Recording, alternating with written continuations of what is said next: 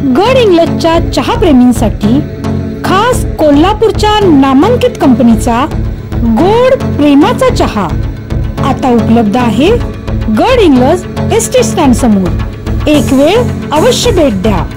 गोड प्रेमाचा चहा.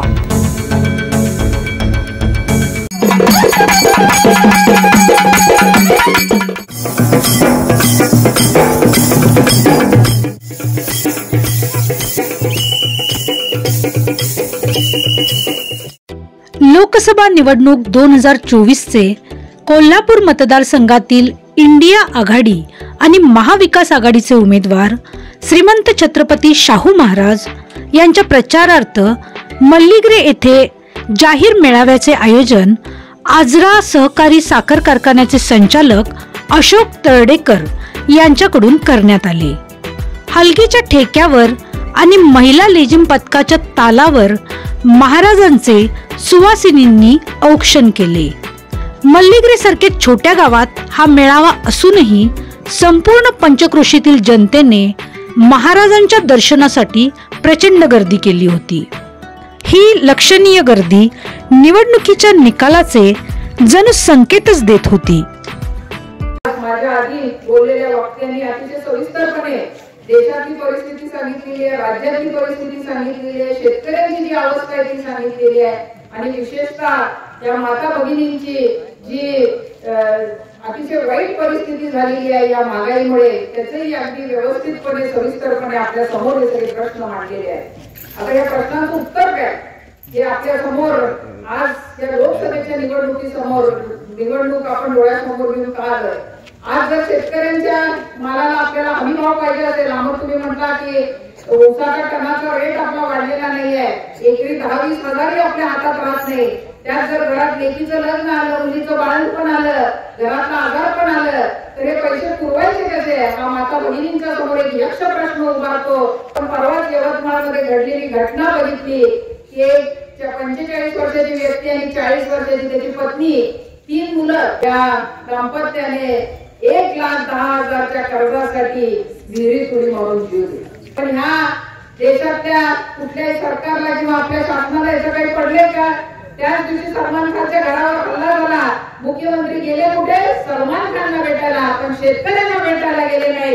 याची जाणीव आपण सगळ्यांनी आता याची नोंद घेण्याची गरज आली आज या खासदारकीची निवडणूक महत्वाची का आहे? तर शेतीमालाला हमी भाव पाहिजे. जर शेतकऱ्यांच्या जे खताच्या पोत्यांचे वाढलेले दर कमी व्हायला पाहिजे हे जर प्रश्न सोडवायचे असतील जर शेतकऱ्यांना जीएसटी लागू नाही करायचं असेल तर हे प्रश्न दिल्लीमध्ये मांडावे लागतात. म्हणून आपल्या हक्काचा खासदार आपला प्रश्न सोडवणारा खासदार दिल्लीला पाठवण्याची ही निवडणूक आहे. आणि म्हणूनच ती निवडणूक बंधू आणि भगिनींना महत्वाची आहे. खरोखर ही लोक आपली लोकशाही धोक्यात असलेली निवडणूक आहे. आणि जर आपण जबाबदारीने गेलो नाही तर कदाचित हे आपलं शेवटचं मतदान करू शकतं. ही गोष्ट आपण सर्वजण ध्यानात ठेवा. गेले वर्ष दीड वर्ष जो काही प्रकार महाराष्ट्रात घडत आहे तर जनता आतुरतेने या निवडणुकीची महाराष्ट्र वाट बघत आहे. कारण कधी एकदा संधी मिळते आणि याच एक जर आपल्याला पाहिजे असेल की जनतेच्या मनात काय चाललंय तर पुण्यात एक मोठं पत्रक लावलं होतं आणि काय दिलं होतं त्या पत्रकावर जनतेनं? की जे कोणी निवडणुकीला उभारतील त्या लोकप्रतिनिधींनी लिहून द्यावं प्रतिज्ञापत्र की पुढची पाच वर्ष मी निवडून आलो तर पक्ष बदलणार नाही. आणि जर मी पक्ष बदलला तर मला किंवा माझ्या कुठल्याही कुटुंबातील व्यक्तीला तुम्ही पुन्हा निवडून देऊ नका. अशी जनतेच्या मनात एक भावना तयार झालेली आहे. आणि ही चीड जे काय घडलं जे पवार साहेबांच्या बाबतीत घडलं जे उद्धव ठाकरे साहेबांच्या बाबतीत घडलं याची एक प्रचंड चीड जनतेच्या मनात आहे आणि त्याचं उत्तर देण्याची हीच संधी आहे. आणि म्हणून या व्यासपीठावर मला सगळ्यांना सांगायचं आहे की महाराष्ट्र हा स्वाभिमानी राष्ट्र आहे. आपला स्वाभिमानी जनता आहे इथली. या महाराष्ट्रात बाजी प्रभू ज्यांनी खिंड लढवली त्यांचे पुतळे उभारतात. पण सूर्याजी पिसारांचा पुतळा या द्यायचा नाही आपल्याला. त्या निवडणुकीच्या निमित्तानं आपण ठरवूया. त्या जाहीरनाम्यात महिलांसाठी एक महत्वाचं कलम आहे. ते म्हणजे प्रत्येक गरीब कुटुंबातील महिलेला वर्षाला एक लाख रुपये म्हणजे महिन्याला साडेआठ हजार रुपये हे गरीब कुटुंबातील महिलेला या जाहीरनाम्याप्रमाणे मिळणार आहेत बंधूंनो किती विचारपूर्वक केल्याचा विचार करा. की पुढच्याला देणार नाही.